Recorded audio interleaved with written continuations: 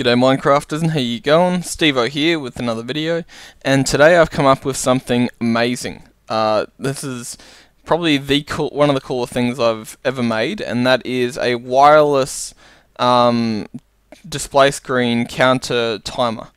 Uh, yeah, check this out. These are all, I've got this, um, the sidebar thing toggled so that you can see the delay um, which I'll show you in a minute as well but as you can see it's fairly and these are all fairly independent unless they're part of the clock in which point they'll increment each other. As you you'll be able to see in a moment when this goes past 9 it won't increment anything. Um, so doing it this way it does it independent. Doing it the other way it will increment. Um, and we've got a stopwatch feature here which uh, counts up three ticks later than the display on the side. Now when I say three ticks, I literally mean three ticks. You've got, for example, your comparator here, then you've got a repeater, and then you've got a comparator on the back of there, and that's the only delay you've got. Aside from the update clocks, which could be a tick um, off on both ones, so potential for uh, five tick delay, really uh, which really isn't that that bad in terms of it being wireless. So somewhere between three and five ticks uh, of delay, most likely less, but um, less than five that is. But yeah, so this will increment that, which increments that, and so forth. So if we were to increment this to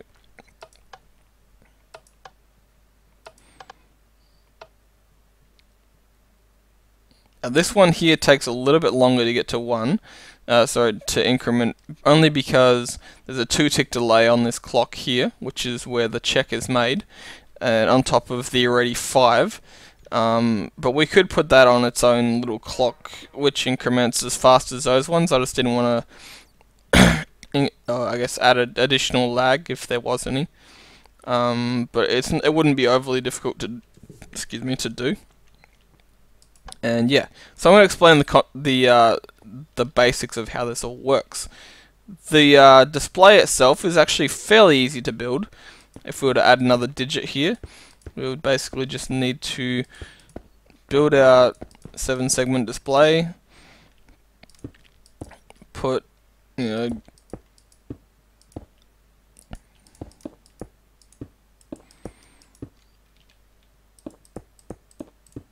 make room for it. I'm not going to um, build one of those things because it is a little bit complicated, but I will explain how it works so you can do it yourselves. And I'll put all the uh, the syntax and stuff into the basic syntax into the description so you can make these kinds of things yourselves, as well as put this up for download for anyone wanting to uh, check it out for themselves. Uh, those will be important in a minute, just uh, bear with me. So we build a honeycomb kind of a shape. We put our command blocks in there.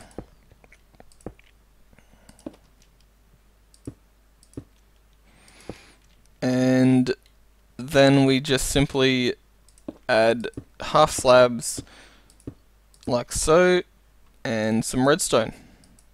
Oops.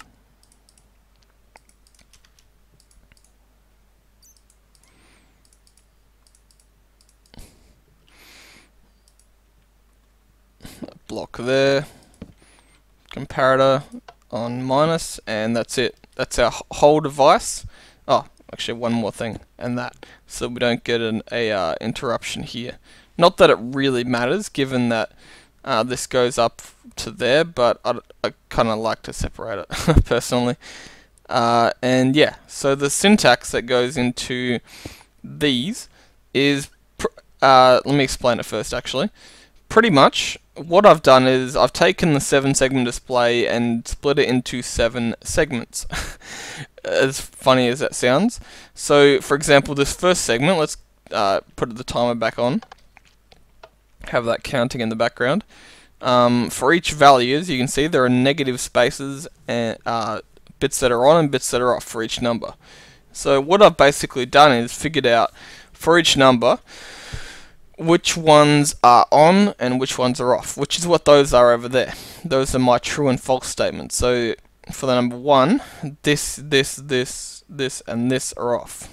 Now I've numbered them 1, 2, 3, 4, 5, 6, and 7.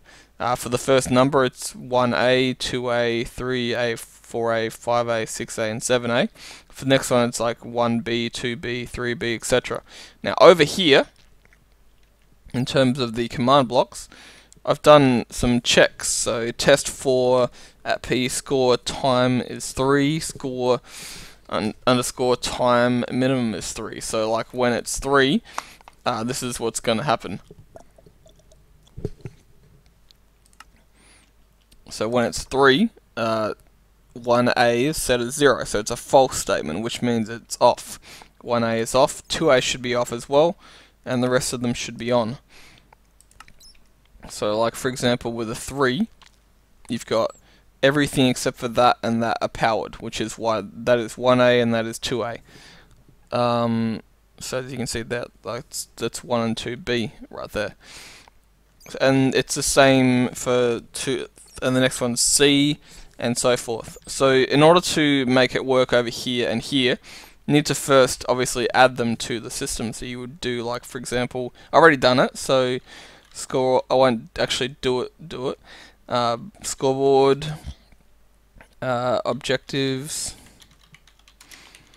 add, for example, 1A, and dummy is the type of, of score. So that's what you would do, for example, for each one. So if I press enter, it will say it already exists. But yeah, that's how you would add them, and you do that individually. And the best part is you can do press up and then quickly access it, change it to 2A, etc. Now this last one here would be D. So 1A, 1D, 2D, 3D, 4D, 5D, 6D, 7D.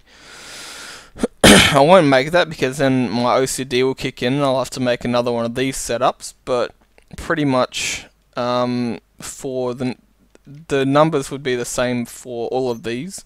Uh, this one's the same as this one, the same as this one. The only thing that varies is the letter uh, after the number, so it would be uh, 1D instead of 1A or 1B.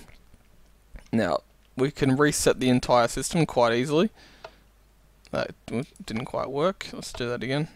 They, there are times when um, you catch it in the middle of a clock cycle, and as you can see, it, it messes up the system.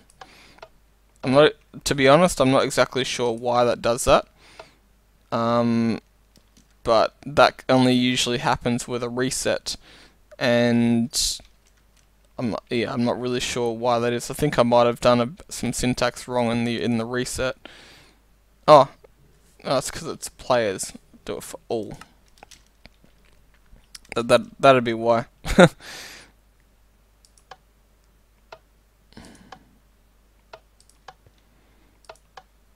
but and what's interesting is though, even though it might just disappear from the screen, um, the minute you were to start, for example, putting things on the board, uh, they come back. So I'm not sure why that is.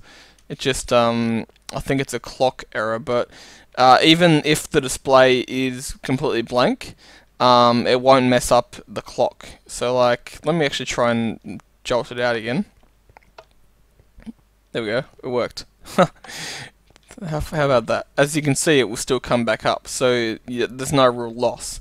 So even though it might disappear off the screen, the numbers will still increment, that will increment the next digit, and that'll increment the next digit. So you don't really lose out in the end uh, if it does that. See? So there's no issues whatsoever with that. Um, it's just a little display glitch, um, which I'm not sure why it does it. But anyway, I hope you found this useful. Like I said, we'll have this word up for download, and all the uh, um, syntax and stuff will be in the description, so you will be able to read that and copy it, or use it, whatever, play with it and build it for yourselves. And ultimately, uh, thanks for watching. I'm Stevo, and I'll catch you later. See ya. Got a little Swedish there. Yeah.